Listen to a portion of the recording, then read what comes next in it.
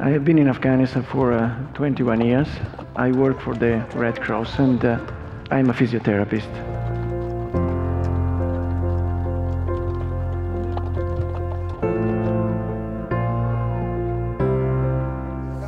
I give you a leg, yes, it's a great job, a great help, but, but what? It's not enough. Only when a person is put back into society with a role, the job is finished.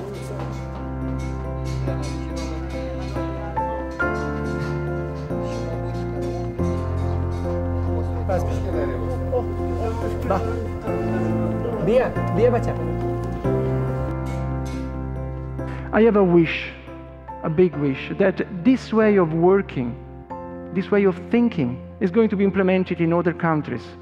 There are plenty of countries at war like Afghanistan. It is possible and it is not difficult.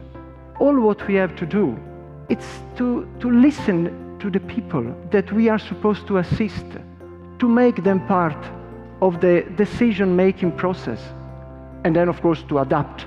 This is my, my big wish. Recently we have just uh, started a program, basketball for uh, uh, wheelchair users. Well, now you should see me. I never miss a single training session. The night before a match, I'm very nervous.